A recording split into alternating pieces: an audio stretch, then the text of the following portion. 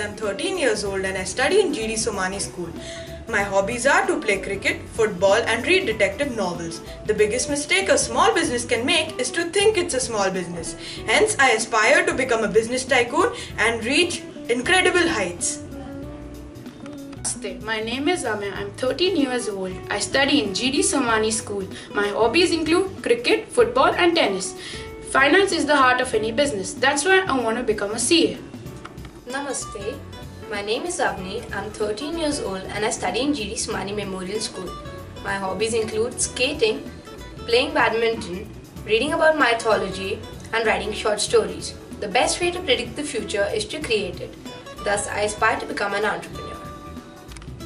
Namaste. I'm Anil. I'm 13 years old and I study in GD Somani School. My hobbies are to play football and chess. About 30 million people in India suffer from heart diseases and I want to become a cardiac surgeon.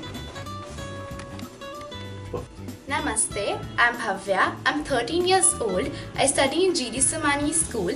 My hobbies are to bake, paint, dance, and read more about world history. I believe if opportunity doesn't knock, build a door. Hence, I want to start a business of hotels and restaurants and be a business tycoon.